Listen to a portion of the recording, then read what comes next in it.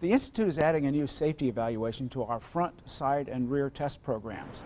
Now we're also going to be rating how well the roof holds up in rollover crashes. No automaker wants to see their vehicle earn a poor rating in a safety test.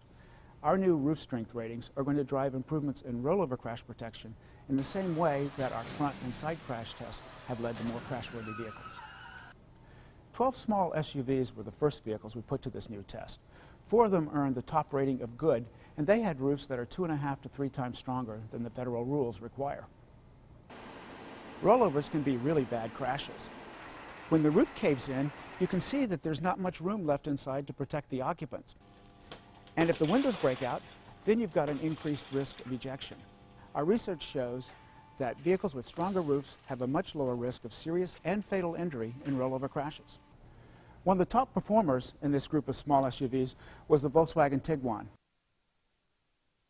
With 15,000 pounds of force, its roof crushed less than two inches.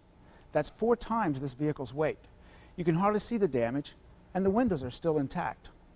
By comparison, this Kia Sportage had one of the weakest roofs. With 15,000 pounds of force, its roof crushed all the way to here. The goal of our crash test is to minimize intrusion into the occupant compartment so that seat belts and airbags can do their jobs. It's the same idea with roof strength. You have a much better chance of surviving a rollover crash if the roof doesn't cave in on you.